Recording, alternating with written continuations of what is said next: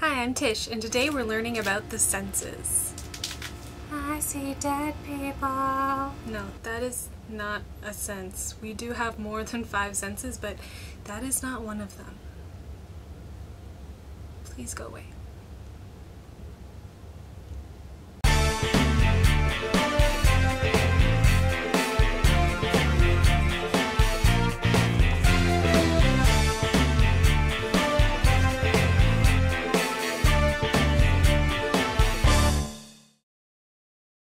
Our senses are how our bodies know what is going on around us. So let's start with the five traditional senses sight, hearing, smell, taste, and touch. Our visual or optical sense is our eye's capability to turn light waves into electrical impulses that get sent to the brain, where the information is turned into what we call vision. It could be argued that this is in fact one, two, or three senses. Our eyes have two types of photoreceptors rods, which are very sensitive to light but don't do colors, and cones, which distinguish colors but don't do very well in dim light. So it could be said that how much light our retinas are receiving is a separate sense from distinguishing colors. And some argue that stereopsis, aka the depth perception that we have because we have two eyes, is a separate sense itself. Our sense of sound perception is our auditory sense. Hearing is all about vibration. We have mechanoreceptors in our inner ear that take vibrations in and turn them into electric nerve pulses to send to the brain.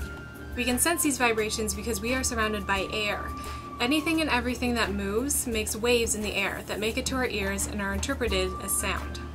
Our olfactory sense is one of our chemical senses. We have hundreds of olfactory receptors in our nose, each of which detects a certain feature of a molecule. What we sense as one scent or smell is actually several different molecules being interpreted by our olfactory receptors. Smell is also closely related to our sense of taste and is a big factor in what we consider flavor.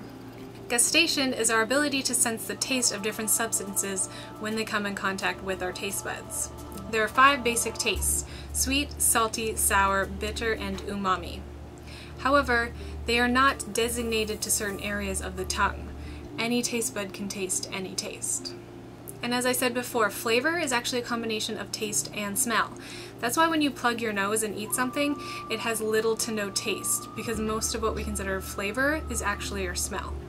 Our sense of touch is caused by the activation of neural receptors in our skin. This also includes a sense of pressure thanks to pressure receptors.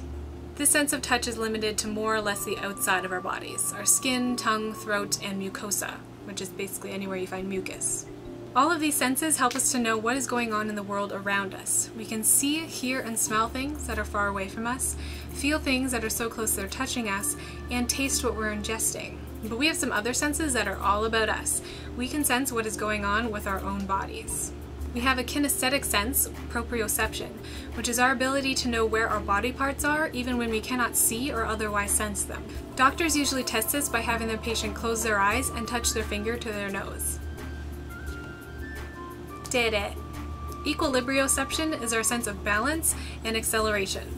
The reason we can walk around on only two legs without much trouble is because of our vestibular labyrinthine system in our inner ears. It keeps us upright and gives us our sense of gravity and acceleration or speed.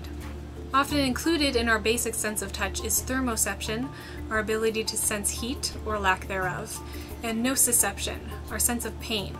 We have different pain receptors for skin, joints and bones, and our body's organs. Other internal senses include hunger, which comes from a combination of sight, smell, and taste. Pulmonary stretch receptors in our lungs give us our sense of full and empty lungs. Peripheral chemoreceptors give our sense of suffocation when our brain lacks oxygen. Our chemoreceptor trigger zone is what tells us when we need to vomit. And we also have chemoreceptors that make us thirsty when our salt levels get too high. We can also feel gas distension in our gastrointestinal tract, swallowing vomit and acid reflux in our esophagus, our gag reflex, when our bladder or intestines are full, and when our blood vessels dilate, such as when we blush or have a headache. Humans have one last sense that isn't connected to any particular sensory organ. It's chronoception, our sense of time. Psychologists and neuroscientists have found that our brain has a system using several different parts of the brain to create our perception of time. We also have a part of our brain that keeps track of our daily circadian rhythm and a different part that keeps track of our short term perception of time. However, our sense of time seems to change as we age, making time feel like it's going faster. And people with Parkinson's or ADD can have an impaired sense of time. So, depending how you want to define it, humans have anywhere from 9 to 21 senses. But that's just humans. What senses do animals have going on that we don't? Some of the animal kingdom's unique senses are really just better versions of our senses. Many animals can see, hear, and smell much better than we can. Some animals have an organ that allows them to sense pheromones, which is how animals mark their territory.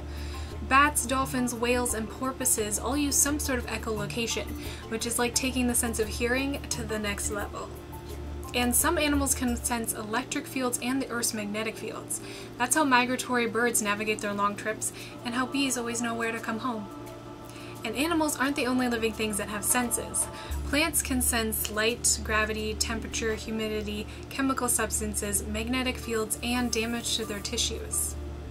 So if you were starting to think that you were pretty special because you had 21 senses, now you know that animals and even plants have senses that you don't have. If you could have a 22nd sense, what sense would you want? Leave it in the comments below. I think I would want magnetoception. I just feel like that could come in handy sometimes, being able to know which way is north and align myself and uh, being able to sense where magnets or magnetic fields are. Or maybe I just want to be Magneto. Thanks for watching and learning about the senses with me. Leave your questions and comments below or hit me up on social media. And check out the link to my blog for more information and the links to my sources. Spoiler alert, Bruce Willis was dead the whole time. It's not a spoiler when the movie is over 15 years old.